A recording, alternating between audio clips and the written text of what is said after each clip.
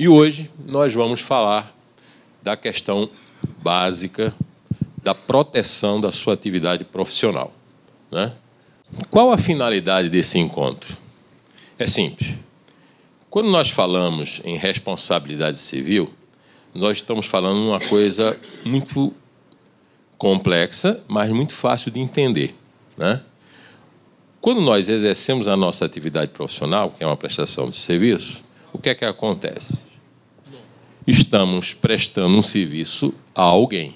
Quando ocorre essa prestação de serviço e por algum motivo acontece um dano a essa pessoa ou à organização que nós estamos prestando o serviço, esta pessoa pode criar uma demanda em juízo contra nós. Ok?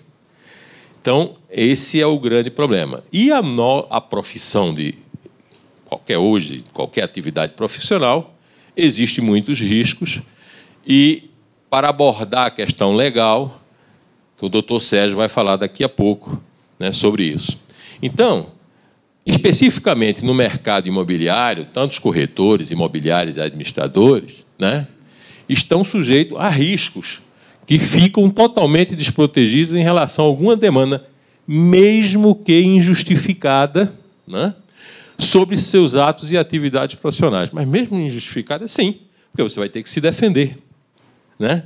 E a gente tem que lembrar uma coisa: quando alguém entra com a demanda contra a gente, né, esta pessoa pensou, sentou com o advogado, fez uma estratégia, às vezes leva dois, três meses decidindo o que vai fazer. E quando a ação entra, a pessoa tem 15 dias né, para poder se defender. Tem que procurar advogado, tem que pegar toda a documentação, tem que, enfim, é, ver tudo que é possível fazer para que a sua defesa possa ocorrer, mesmo que a demanda seja injustificada. Isso é um problema. Né? E no dia a dia, nós vamos ver aqui a quantidade de risco a que nós estamos sujeitos, né? segundo vários especialistas, inclusive o doutor Ari, dizem que a atividade imobiliária é uma atividade de altíssimo risco, e ele vai explicar por quê. Né? é preciso proteger de forma imediata e permanente o seu patrimônio material, financeiro e principalmente de reputação. Nós vamos ver também por que principalmente de reputação, ok? Então, para que a gente possa primeiro entender a parte legal, né? Uma base melhor do que nós vamos falar da atividade, nós vamos ver primeiro alguns conceitos legais importantes que tem que estar na cabeça de cada um de vocês para o exercício da profissão. Então, vou passar a palavra para o doutor Sérgio, né? ele vai explicar essa parte e depois eu volto para falar da atividade profissional né? em função da, dos aspectos legais, ok? Muito obrigado. Bom dia a todos, muito obrigado pela presença. Todos têm compromissos, ainda mais em tempos de crise, temos que trabalhar muito mais aí para alcançar os resultados. Então, agradeço a todos aqui por nos ouvir falar. Bom, eu vou trazer alguns aspectos aqui sobre a responsabilidade civil sob o ponto de vista jurídico. É uma parte técnica, é um pouquinho chata, eu vou tentar ser o mais simples possível para todos entenderem. Antes de entrarmos aí na conceituação, eu vou ler é, aqui dois artigos legais. Nós não vamos ficar reproduzindo textos legais, mas esses dois são importantes aqui para para iniciarmos a palestra. Bom, o artigo 186 do Código Civil, ele diz aqui, aquele que, por ação ou omissão voluntária, negligência ou imprudência, violar direito e causar dano a outrem, ainda que exclusivamente moral, comete ato ilícito. E o artigo 927 do mesmo Código Civil ele diz que aquele que, por ato ilícito, causar dano ao trem, fica obrigado a repará-lo. Muitas vezes, nós, é, é, é conduzindo nossas atividades no dia a dia, nós é, é, entendemos que não existe a possibilidade, por determinada atitude, adotada ou não, de, de gerar uma responsabilidade civil. Eu não tive culpa quanto a isso, isso era uma obrigação do vendedor, eu só fiz a intermediação imobiliária, e não é assim para a existência aqui do. Nós vamos aqui é, trabalhar da responsabilidade civil, nós vamos começar conceituando a culpa.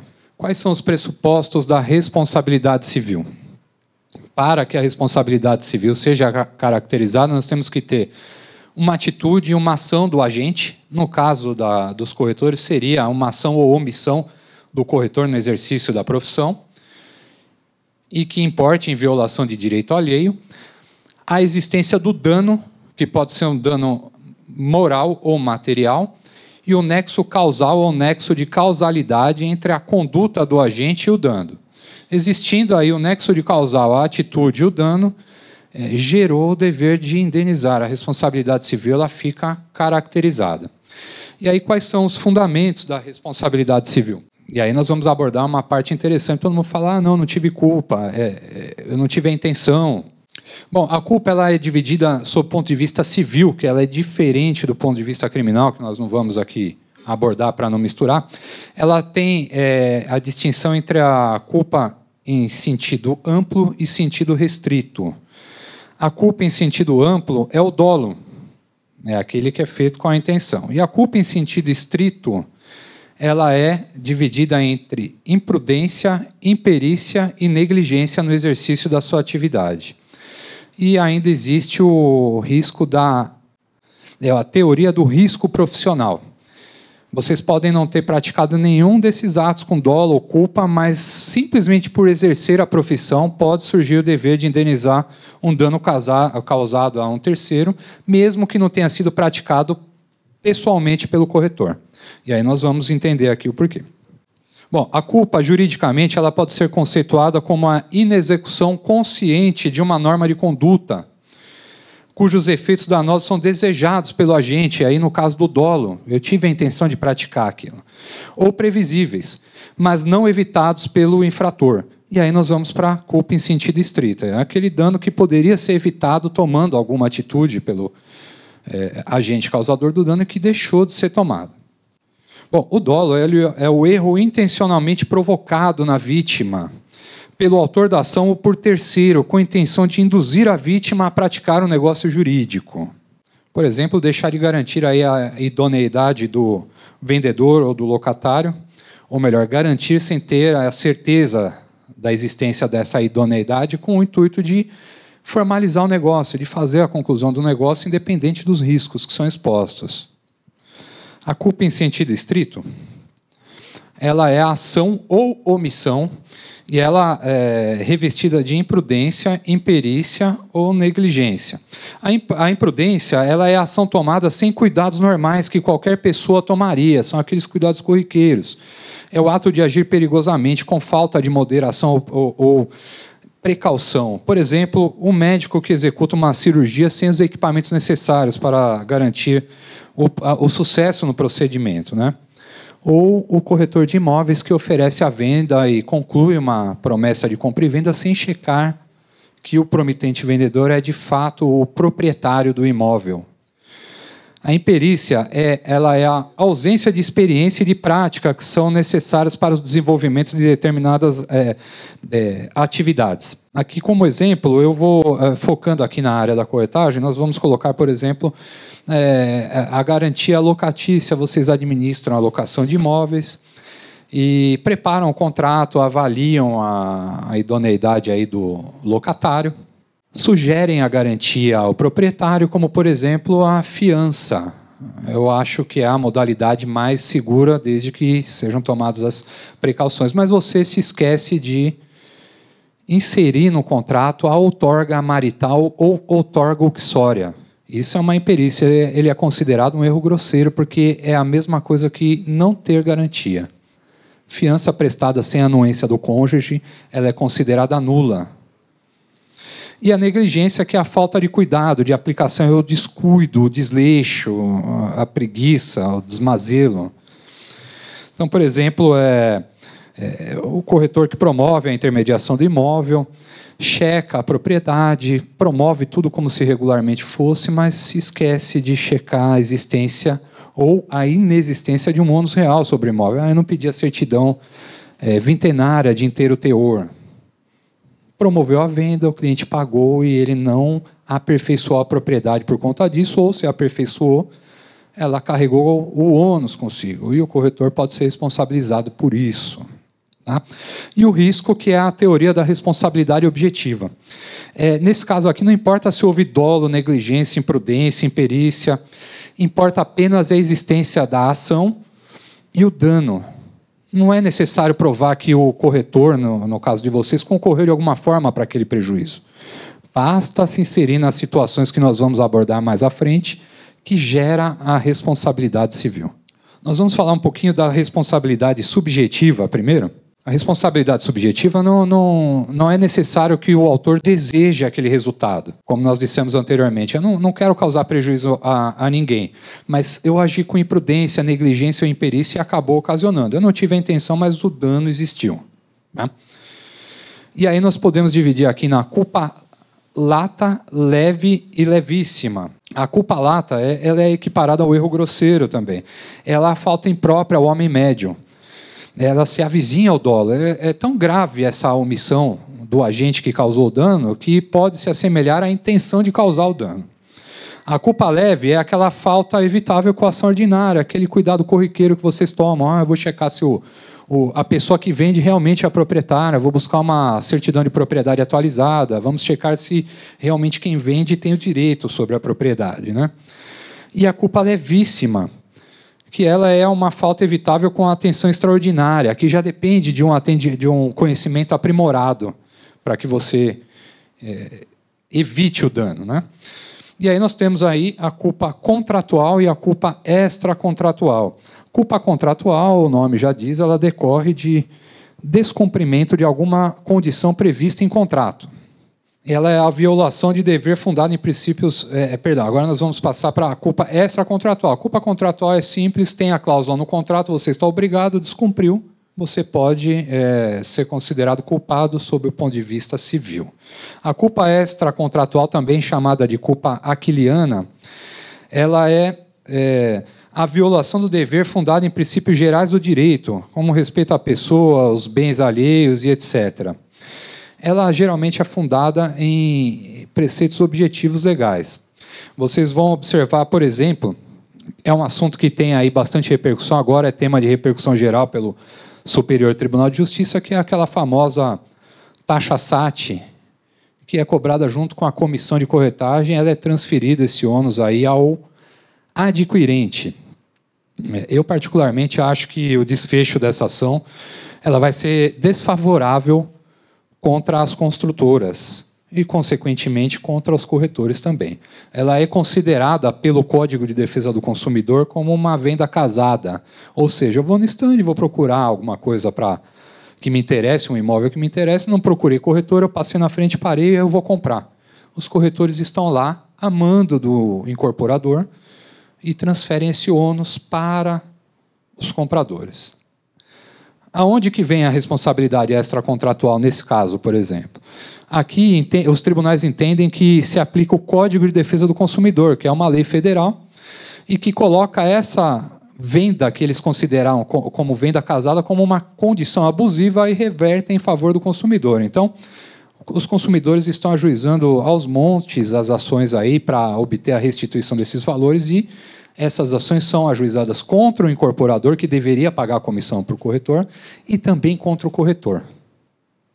Então não há previsão, e, e, muitas vezes há até a previsão em contrato. Eles é, é, elaboram um contrato transferindo essa contratação da corretagem e da assessoria técnico-imobiliária aí para o comprador, mas ela é considerada condição abusiva por lei, pelo Código de Defesa do Consumidor. Então ela é uma responsabilidade subjetiva fundada na culpa extracontratual. Nós temos ainda a culpa por eleição e vigilância. Tá? Culpa por eleição, também conhecida como culpa in elegendo, ela é oriunda da má escolha do empregado, do representante ou do preposto. Isso vai ficar mais claro para vocês ao final, quando nós é, é, falarmos aqui de alguns exemplos práticos. Vocês vão perceber que tem que tomar muito cuidado com quem você coloca para trabalhar dentro do seu escritório. Exemplo aqui, contratação de corretor sem inscrição no Cresce ou de empregado sem aptidões técnicas para as funções contratadas, entre outros aqui.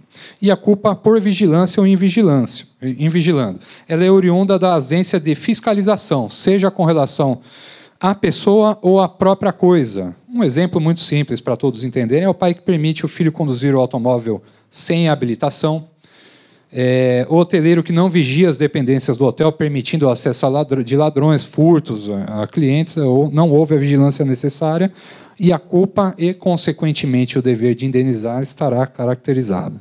Nós temos ainda aqui como é, fundamentos da responsabilidade subjetiva a culpa por ação, omissão ou custódia. Culpa por ação quando o agente pratica um ato positivo, culpa por omissão quando ele deixa de praticar um ato, e nós dissemos lá, o próprio artigo 186 conceitua o ato ilícito como ação ou omissão, então deixar de fazer pode gerar esse dever de indenizar também, e a culpa por custódia, falta de cautela ou atenção em torno de alguma pessoa, animal ou objeto sob os cuidados do agente. Um exemplo aqui focado na profissão de vocês é o corretor que é contratado para a venda de um imóvel com exclusividade, ficando sob sua guarda as chaves e o acesso ao imóvel e ele permite ou é, deixa de evitar que, por exemplo, um interessado cause algum dano, furte algum item de dentro do imóvel. Aqui estará caracterizada a responsabilidade subjetiva por fundada na custódia, a culpa por custódia e, consequentemente, o dever de indenizar do agente.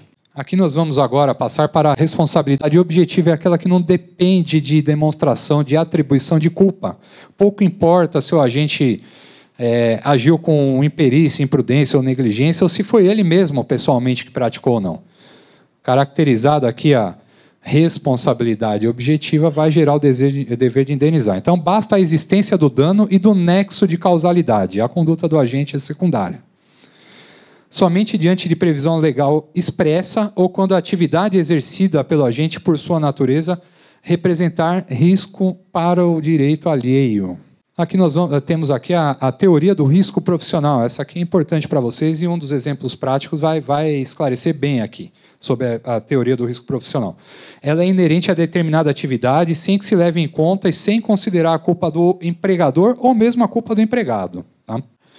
Vocês vão ver um dos acordos que separamos aqui sobre ofensas que foram praticadas por um é, corretor autônomo que prestava trabalhos eventuais para uma corretora, mas que utilizou o e-mail institucional da empresa e desferiu ofensas contra um cliente, gerando condenação a todos os envolvidos, ao empregador e ao corretor. Os acidentes do trabalho, aqui é, é, eu acho que não, não cabe muito a vocês, mas, por exemplo, na construção civil, o funcionário que se acidentou no trabalho, o empregador ele já é responsável por esse acidente de trabalho, por fundado na responsabilidade objetiva. Não precisa investigar se o empregador teve alguma participação ou não. O Código de Defesa do Consumidor ele é, tem entre dentro de si a teoria é, da responsabilidade objetiva. Nós é, já é, abordamos inicialmente, tá? Isso porque decorre da hipossuficiência técnica do consumidor. Muitas vezes o consumidor procura um profissional especializado para executar algum serviço, justamente porque ele é leigo no assunto. Então, não é, é de acordo com a legislação é, consumerista, você não deve atribuir essa é, obrigação de demonstrar a existência de culpa, especialmente porque é um leigo que buscou aqui o trabalho especializado do corretor. E, e, pode, inclusive, haver aí em juízo, em, discussões em juízo, a inversão do ônus da prova. Ele entra, faz a alegação de que a responsabilidade é sua, e você vai ter que demonstrar que não praticou aquele ato ou que não foi omisso. Essa é uma exceção à regra do ônus da prova no Código de Processo Civil. Evidentemente, ela admite exceções, como, por exemplo, a culpa exclusiva da vítima, é, culpa exclusiva de terceiros, mas aí já é uma parte mais técnica aqui que nós não temos interesse em, em abordar para não, não, estender muito aqui o tema da, da palestra. Ah, temos aqui a teoria dos riscos da atividade. E aqui vale, vale aqui reproduzir um parágrafo do, único do artigo 927 do mesmo Código Civil, porque ele já vai esclarecer. Haverá obrigação de reparar o dano independente de culpa nos casos previstos em lei, como nós falamos aqui, ou quando a atividade normalmente desenvolvida pelo autor do dano implicar, por sua natureza, riscos para os direitos de outrem vocês estão inseridos no risco da atividade. Vocês estão promovendo intermediação imobiliária e vocês têm como princípio aí norteador da profissão garantir que essa transação seja feita com segurança jurídica. E aqui vale também é, é, falar só sobre o artigo 723 do Código Civil, que fala da corretagem. Vocês vão entender que tudo o que nós falamos aqui se aplica para vocês. Aqui. O corretor é obrigado a executar a mediação com diligência e prudência e prestar ao cliente espontaneamente todas as informações sobre o andamento do negócio. O parágrafo único. Sob pena de responder por perdas e danos, o corretor prestará ao cliente todos os esclarecimentos acerca da segurança ou do risco do negócio, das alterações de valores e de outros fatores que possam influir nos resultados da incumbência. Então vocês observem que a atividade do corretor é muito mais do que aproximar vendedor e comprador. Ele tem que garantir a segurança jurídica do negócio que ele se propôs a fazer o que muitas vezes aí acabam gerando até perda de negócios, porque nós sabemos que a transação imobiliária ela gera ansiedade de quem compra, de quem vende, todo mundo pressiona para o negócio andar rápido, e infelizmente com a burocracia que nós temos no sistema é, público do Brasil, ele impede que isso seja feito com a celeridade almejada. Mas é muito melhor que se faça com calma do que é, se, se expor, se submeter aos riscos aqui de ter que indenizar. Certamente, em determinadas situações, a, a comissão que vocês perceberem por um, um negócio mal feito, ele, ela vai ser inferior a eventuais prejuízos causados. Não vale a pena. A teoria do risco profissional, do risco da atividade, ela também admite a excludente de responsabilidade, é, com culpa exclusiva da vítima, se o caso, o fato de, é, de terceiro, caso fortuito de força maior, ou até mesmo de uma cláusula contratual com previsão de não indenizar. Ou seja, você esclarecendo objetivamente o risco daquele negócio e a pessoa é, que está sendo atendida se submeter àquele risco, aceitar o risco e conduzir adiante o negócio. No final, nós vamos ter exemplos bem é, é, é similares ao que nós falamos aqui. Eu acho que aqui eu concluí. Eu vou pedir ao, ao Galvão a, a, retornar aqui, depois nós voltamos com os exemplos práticos aqui. Bem, gente, é, como vocês viram aí, existem é, e não vimos tudo, né? estamos passando rapidamente na palestra, é, os riscos da profissão, né? que são muitos. Nós vamos ver exemplos práticos um pouco adiante. Agora, o que é que potencializa esse risco? Qual é a nova realidade no mercado? Né? Nós vimos aqui alguma parte dos diversos códigos da legislação brasileira, onde as empresas de prestação de serviços e os profissionais liberais são responsáveis pela reparação de danos, perdas causadas a terceiro. Isso que é responsabilidade civil, ok? As novas realidades do mercado, o que é que aconteceu nos últimos 20 anos, principalmente nos últimos 10 anos? Né? O mundo mudou, a cidadania se tornou mais consciente, mais exigente, né? e muito mais participativa. E as empresas, de uma maneira geral, e os profissionais liberais, eles estão cada vez mais preocupados né, na gestão de risco de suas atividades. Nós acabamos de ver aqui né, na, é, com, o doutor Sé, com o doutor Ari os riscos. Né? Então, o que é uma gestão de risco? É você pensar e se prevenir em relação à sua proteção, a proteção do seu patrimônio. Então, este novo sistema legal, né, a expansão da internet, que hoje é um facilitador de né, você querendo saber alguma coisa. Quando eu falo em reputação, eu estou falando em internet. Porque hoje, qualquer pessoa que vai fazer uma transação, seja ela imobiliária, vai no médico, né? Eu tenho um caso na família que é, a pessoa ia fazer uma cirurgia eletiva, uma cirurgia é, planejada, e estava indo para o médico e tal. E peraí, deixa eu ver aqui. Entrou no Tribunal de Justiça e colocou o nome do médico. O cara tinha 10 ações contra ele por erro médico. O pessoal recuou. É público. As ações são públicas. Está lá no site do tribunal. Né? Então, é um negócio que a gente, a internet hoje, né, está é, é, é tá aberta, é todas as informações ali. Hoje não tem mais o leigo, o cara que, ah, eu não sei se eu tenho direito. Não, vai lá e procura. Né? eu estava no médico essa semana, né? E, e, o camarada falou assim: o cara já chega aqui, tá certo? Dizendo, doutor, o tratamento aí, ele já vem me explicar o tratamento que eu devo fazer nele, né? Porque cara foi na internet. Eu estudei 10 anos para explicar para o camarada o que, é que eu preciso fazer na saúde dele, E ele já chega me dizendo o que é que eu tenho que fazer. Eu, eu sinto muito, mas eu não vou te atender, porque isso vai dar uma complicação lá na frente. Né? E a popularização das mídias sociais. Cara, de dois a três anos para cá, isso virou uma febre. Né? Não tem mais ninguém hoje mal informado. Todo mundo pertence a um grupo, grupo disso, grupo daquilo. Né? Então, é, você, você hoje é, participa de tanto debate, de tanta coisa, né? E o que é ruim, porque é, é, as pessoas às vezes dão opiniões baseadas em achismo, né? E nós vimos aqui itens da lei. Não adianta, ah, porque eu não, é a lei, né? Ah, porque vamos fazer assim, não é a lei, tá certo?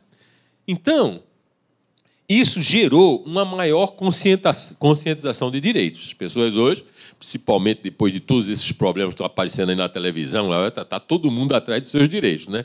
É site, é ONG, é, é um monte de, de, de, instituições, de organizações né, que trabalham pelos direitos das pessoas. Né? Tem o engajamento da imprensa, lógico, a imprensa está lá querendo saber, querendo repercutir tudo isso. Né? E uma, criou tudo isso, criou uma forte cultura de reclamação.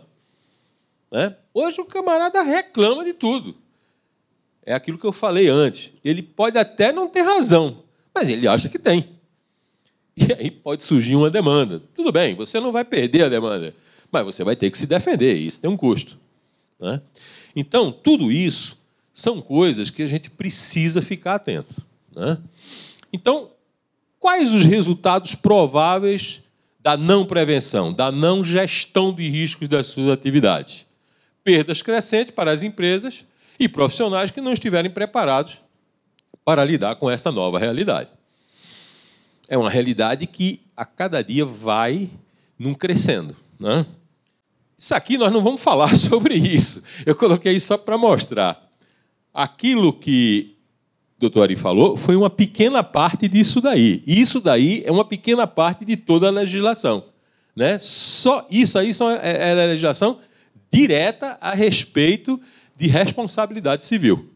Então, é muita coisa. Isso aí tem um ano de estudo numa faculdade. Quer dizer, numa palestra aqui não dava nem para explicar tudo isso, mas é muita coisa. São muitas nuances, ok? Quais são as, quais são as áreas de riscos mais comuns? Na profissão. O ilícito contratual, né? Nesse caso aí, entrega do imóvel fora do prazo. Não estou falando só na construção, né? Eu estou falando é, de colocar a documentação em dia, o sujeito perdeu um financiamento porque a documentação não ficou pronta, porque o corretor não tomou cuidado nisso daí, não viu que tinha um problema na documentação. Isso daí pode gerar uma, uma, uma, uma perda de alguém e esse alguém pode né, estava precisando de fechar o negócio para fazer isso, aquilo foi mal, ele acha que foi mal orientado, isso daí pode gerar um problema. Então, ilícito contratual. Falha de documentação do imóvel. Eu, eu vou pedir só para o doutor Ari dar um exemplo, porque a gente estava conversando quase agora, antes de nós começarmos a palestra, e, e, e assim, segundo os especialistas, né, e quando eu falo especialista, estou falando do doutor Ari, é, é quase que impossível garantir totalmente essa questão da documentação do imóvel. É um dos maiores riscos que existe. Doutor Ari, por favor. Bom, eu costumo dizer que não existe transação imobiliária 100% segura. Sempre vai ficar algum risco que não é possível você prever no momento da, da transação. Com relação à, documentação do imóvel, eu estava comentando com o Galvão aqui um, um, caso recente que houve no meu escritório. Estávamos assessorando uma empresa a adquirir um imóvel que era de uma pessoa física, era uma área grande na Riviera de São Lourenço. E nós fomos buscar as, as certidões. A área era na Riviera e os vendedores é, têm domicílio aqui em São Paulo. Então nós tivemos que buscar certidões do local do imóvel e do domicílio deles. E todas as certidões, inclusive as pessoais, têm que ser buscadas onde eles moram e aonde tem o imóvel. Porque pode ter alguma discussão judicial, por exemplo, na comarca do imóvel, envolvendo o imóvel em nome da pessoa física.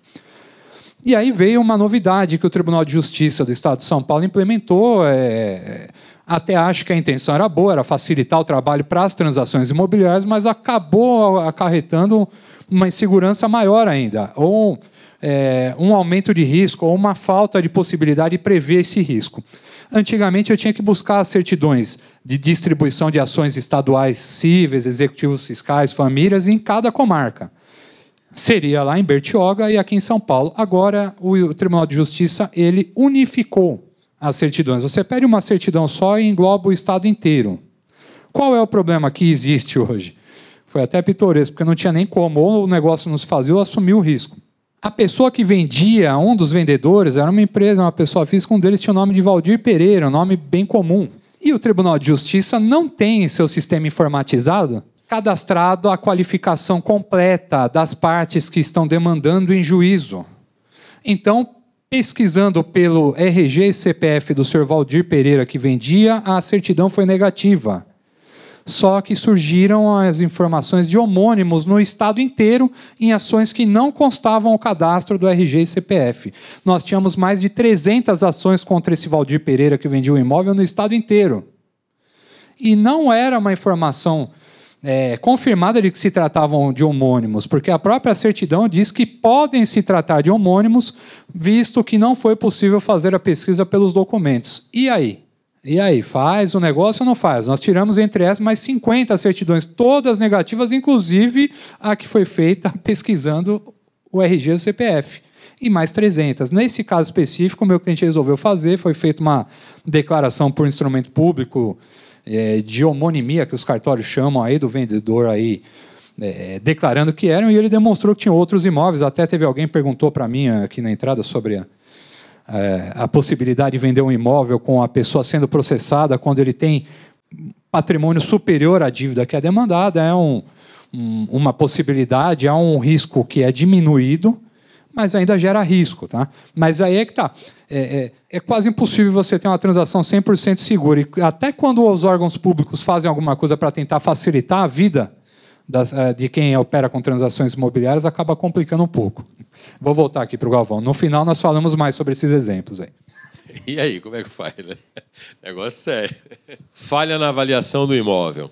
Né? Então, é, alguém pede uma avaliação, uma avaliação oficial do imóvel, porque ele quer investir no negócio, tá certo? E a avaliação depois se mostra falha, né?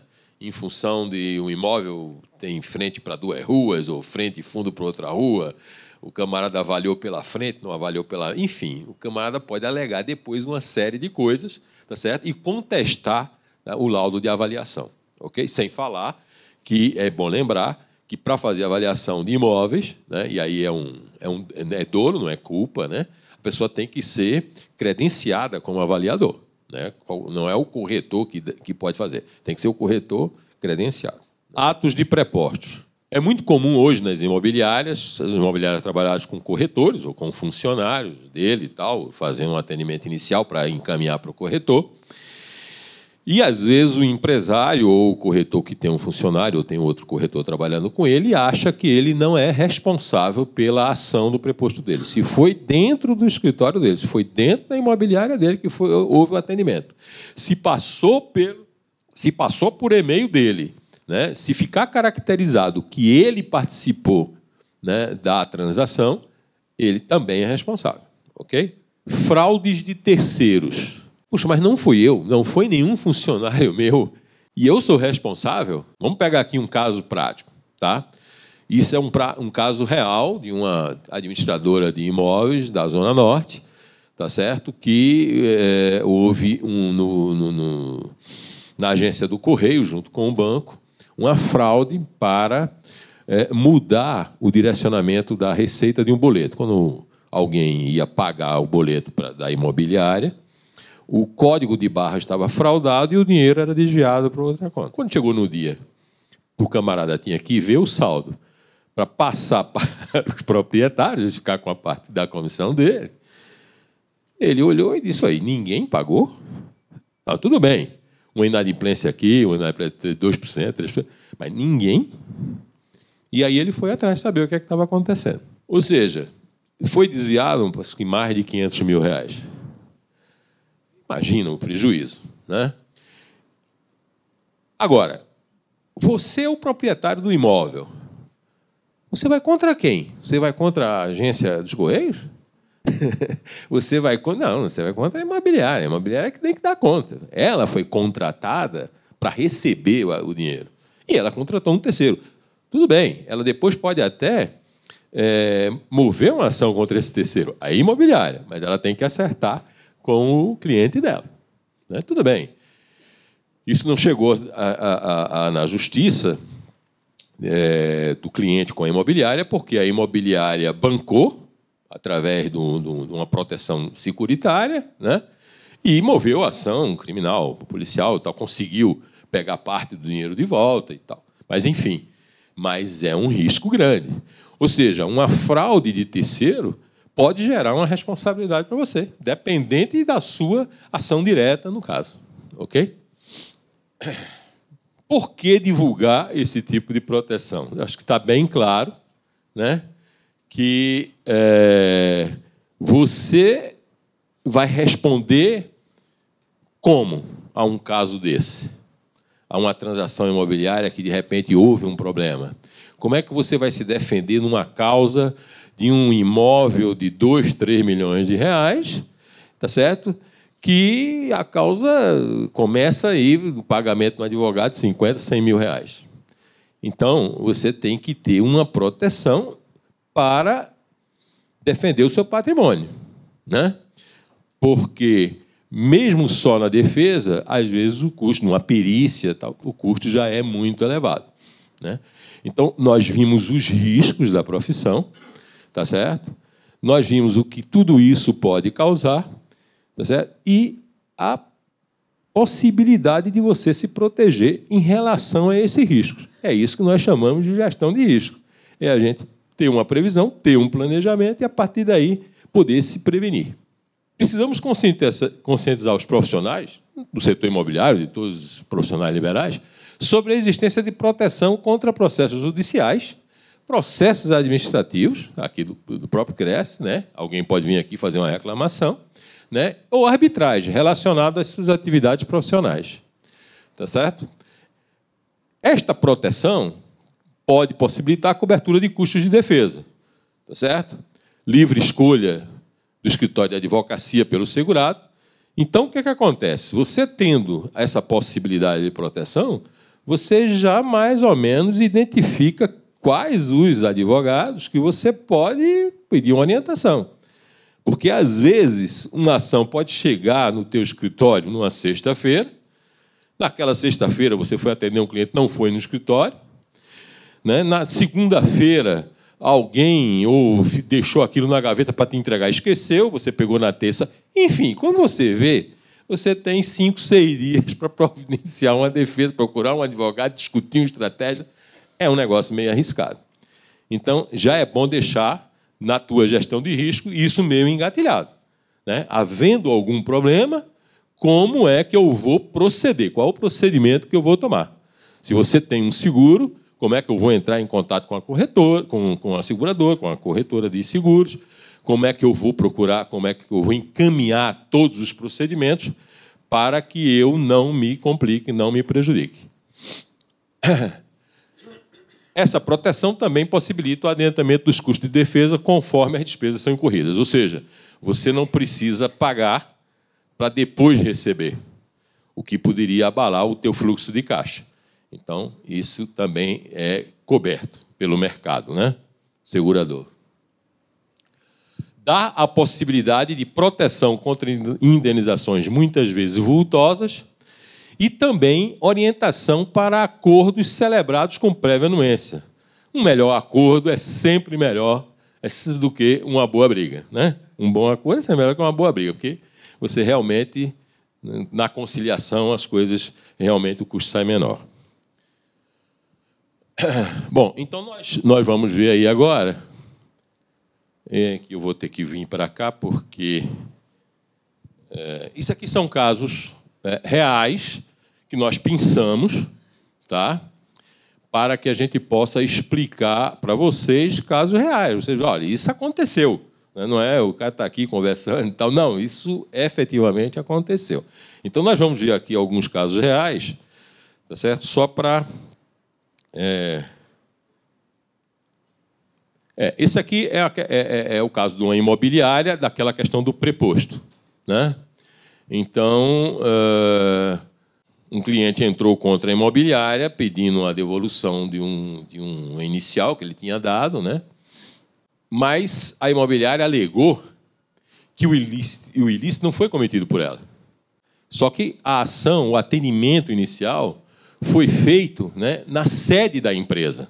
E isso caracterizou responsabilidade civil. Dizer, o corretor pegou o dinheiro inicial, né, da, e a coisa não aconteceu, não ocorreu. Esse caso, é, isso, esses casos aqui, na verdade, são acórdons, que são decisões de segunda instância do Tribunal de Justiça do Estado de São Paulo. Tá? Esse caso específico foi pitoresco, eu li o acórdão na íntegra. É, a imobiliária contratou um freelancer, os freelas, né? o pessoal gosta de apelidar, contratou um corretor freelancer, foi ver algum empreendimento, acabou atendendo é, é, por uma ocasião na sede da corretora, e de acordo com a defesa dessa imobiliária, esse corretor, além de não concluir o serviço pela imobiliária, ele levou o cliente embora. A imobiliária não usufruiu, segundo a tese da imobiliária, não usufruiu do serviço. Ela foi lesada por esse corretor freelancer que prestou o primeiro atendimento e levou embora. E mesmo assim, foi condenada a restituir o valor aqui. Para a gente é mais fácil porque faz parte do dia a dia. Nós trabalhamos com leis e histórias, né? Todo mundo tem uma versão. É, se você quiser deixar, eu posso falar desse também. Bom, aqui foi o seguinte: é, é, esse caso específico, a, a imobiliária ela fez a primeira intermediação entre as partes. Havia uma promessa de financiamento bancário que foi rejeitado pela instituição financeira, foi feita a rescisão de extrato do negócio. A própria imobiliária fez e depois ela promoveu nova intermediação e cobrou deles o serviço pela segunda venda. E aí os vendedores entraram com a ação pedindo a devolução em dobro desses valores, dizendo que já havia pago a primeira comissão. Eles perderam a ação, a imobiliária ganhou, porque foram duas transações distintas. É, é, se não deu certo é, a primeira transação por um problema exclusivo dos compradores, essa responsabilidade não é atribuída ao corretor, então é, é, ele tem direito à segunda comissão. Por que, que essa parte aqui entrou para vocês aqui? Por que, que esse acórdão entrou? Ele não gerou, em tese, prejuízo ao corretor, mas ela gerou sim. O corretor teve que contratar o advogado para se defender na ação. Uma ação comum como essa daqui, a, a, os advogados trabalham com tabela também, a, vocês trabalham, o Cresce deve ter a tabela de prática de honorários, a OAB também impõe isso ao advogado, é uma obrigação, não é uma faculdade do advogado, é o mínimo que ele tem que fazer, 20%. Uma ação que demandava 74 mil reais, você já gastaria só com advogado quase mil reais. Então, nesse caso aqui, não houve atribuição de responsabilidade nenhuma à imobiliária, ela tinha o direito à comissão, mas ela foi processada. Uma coisa importante: a imobiliária tinha um advogado, um advogado bom, foi lá e ganhou a causa. Mas imagina você ter condições de ganhar a causa e perder porque você não está prevenido. Bom, Aqui é, é a típica é, responsabilidade objetiva baseada na teoria do risco. Aqui são é, é, o dever de indenizar pela prática de preposto. Ela é semelhante ao, ao, outro exemplo que nós demos aqui. O que aconteceu nesse caso específico, também um acórdão tirado aqui do Tribunal de Justiça de São Paulo.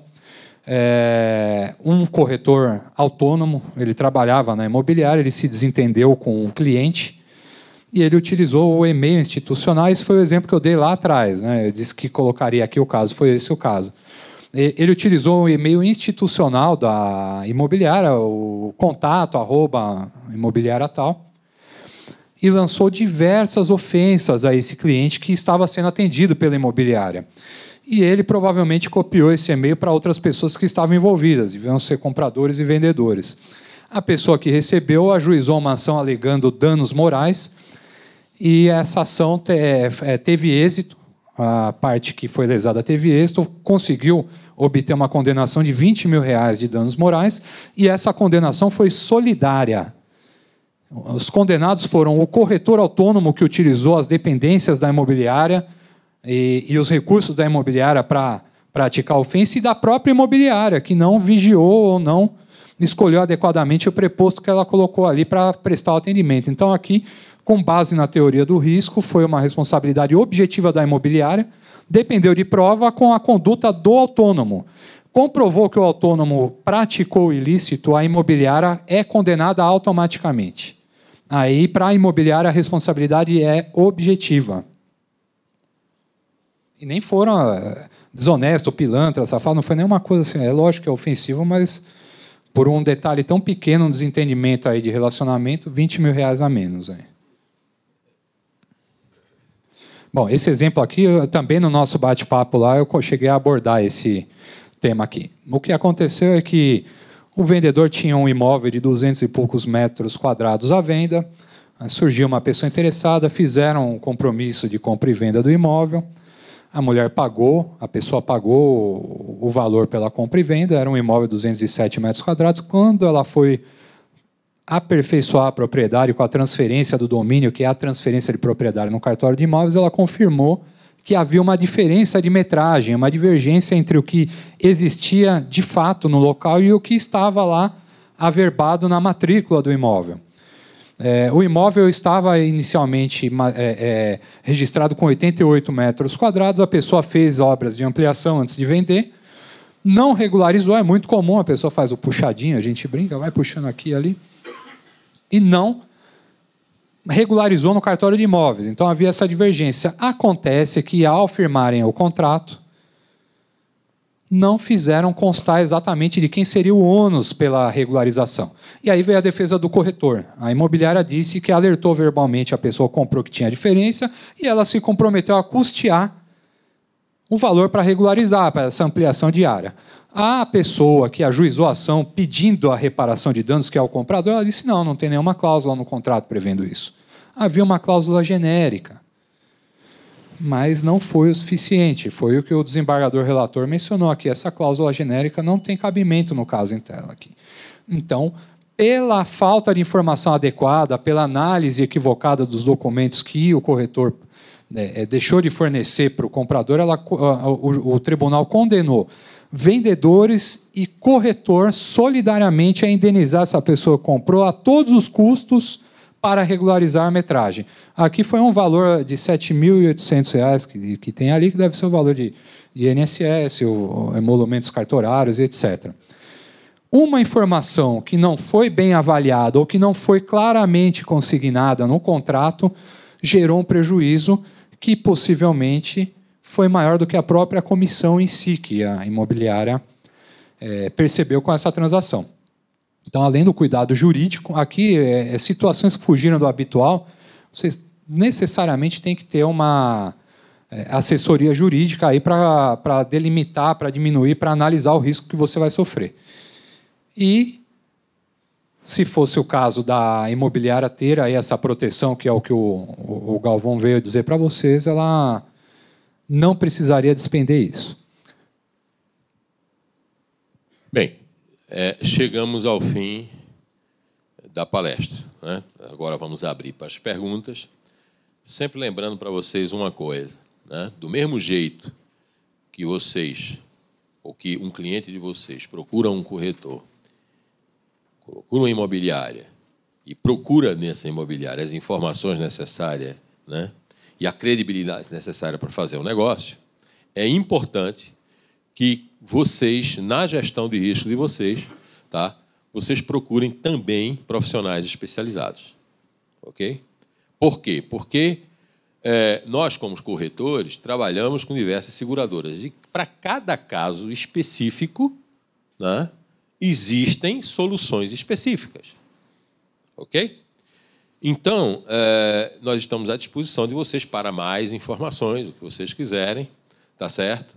É, vocês podem fazer levantamento de, de, de, problemas em relação à gestão de risco, que nós, tanto nós da corretora como o doutor Ari, vamos estar à disposição de vocês, tá certo? Para tirar eventuais dúvidas, mesmo após aqui esta palestra. Bom, bom dia a todos. Meu nome é Paulo Coutinho. A minha pergunta é: o, a contratação do seguro ele só pode ser feito via imobiliária ou o corretor ele, ele, ele pode fazer de forma individual? para ele?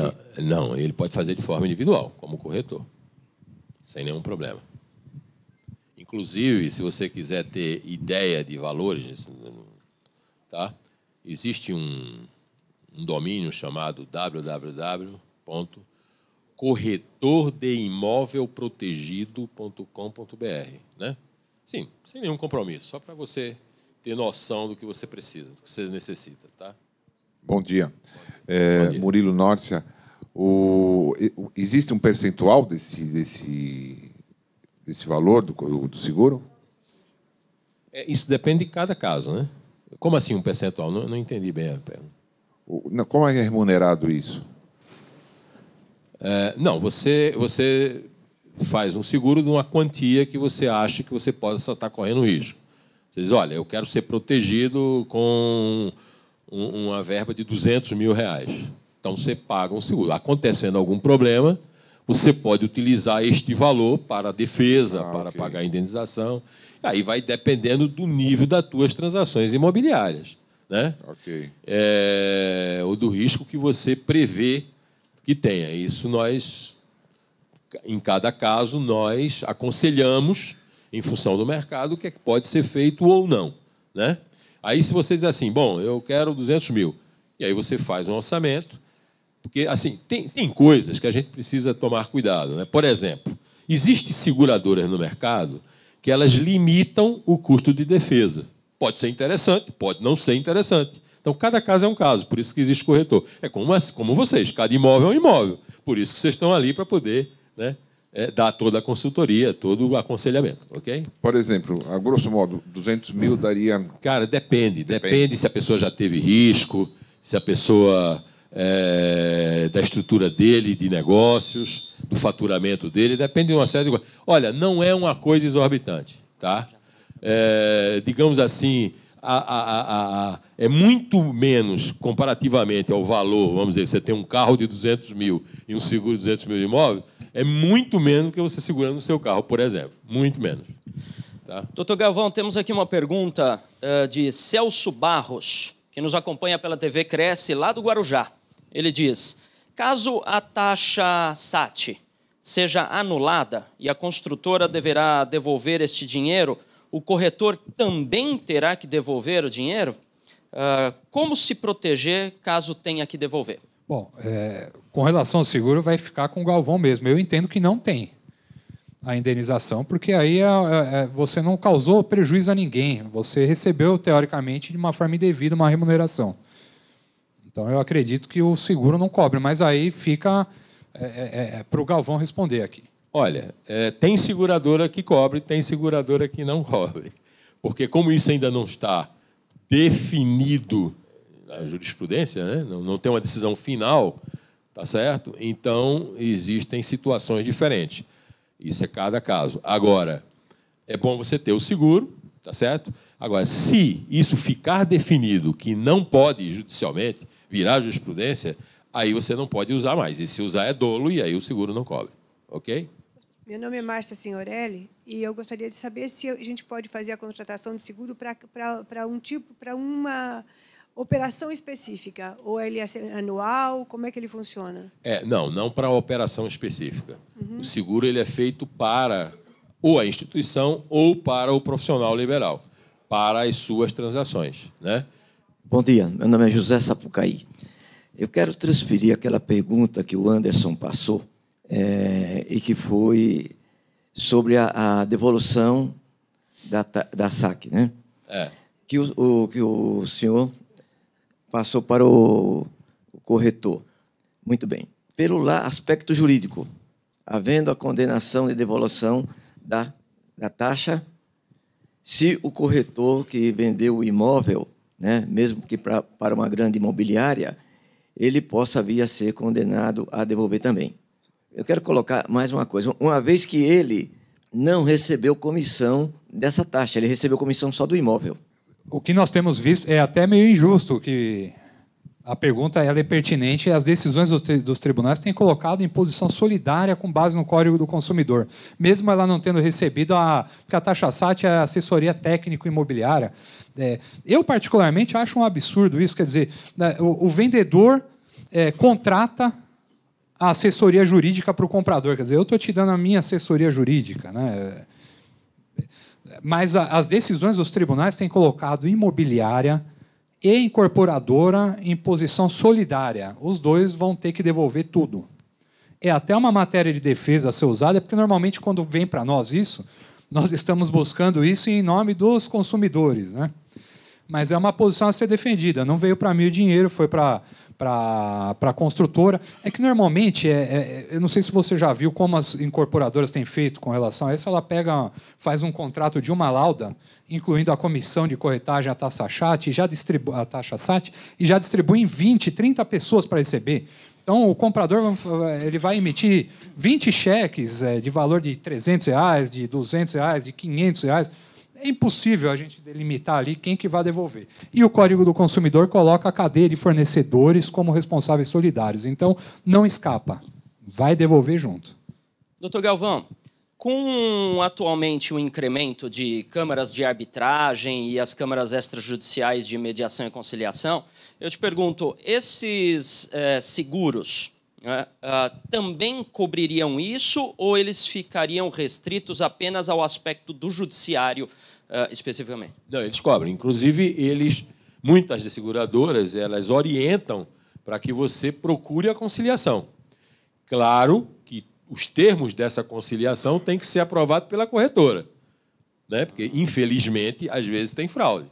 O cara faz uma ação, ah, vamos nos conciliar aqui, né? E não é bem por ali. Então tem que ser monitorado pela seguradora, mas a, segura, a seguradora, inclusive, acha, muitas delas, né, acha melhor que haja uma conciliação. Né? Elas, inclusive, orientam nesse sentido. E, é, e, e não precisa ser uma condenação judicial que ela cobre. Ah, se for uma conciliação, ela também cobre. Bom dia, meu nome é Flávio, bom dia a todos os colegas. É uma dúvida. É, esse seguro de responsabilidade civil para proteger o corretor de imóveis de uma possível ação que ele tenha agido de uma forma incorreta. Muito bem. E se ele fizer tudo corretamente e tiver que cobrar judicialmente o cliente vendedor pelo não pagamento da comissão, esse seguro daria alguma cobertura em relação a isso também? É, veja bem, é, é, você, não, aí é ação de cobrança. Sim, existe é. ação de cobrança, tá? Mas é, é, é uma, existe uma responsabilidade na. na, na não, eu quero saber seguro, se existe essa possibilidade. Não, o seguro cobre é, danos a terceiros. Né? Então não, não, existe. Quer dizer, é, quando você presta um serviço para alguém e nessa prestação de serviço ocorrer um dano. Uhum. Então o seguro de responsabilidade civil é direcionado nesse caso. Em resumo, só quando o, o corretor ou a imobiliária sentaria no banco de réu. É, assim. nesse caso, assim, quando, quando, quando a atuação profissional né, causa um dano a terceiro. Então, o seguro serve para isso. De forma não dolosa. Né? Se for dolo, o seguro não cobre. É, qual a sua seguradora que você prefere hoje? Olha, hoje nós trabalhamos basicamente, nós temos assim várias seguradoras que nós trabalhamos. Trabalhamos com a IG, com a Nobre, trabalhamos com a ACE, trabalhamos com a esse produto é, é, é aquilo que eu falei antecipadamente, quer dizer, isso depende da situação. Nós hoje estamos trabalhando muito com a IG, tá?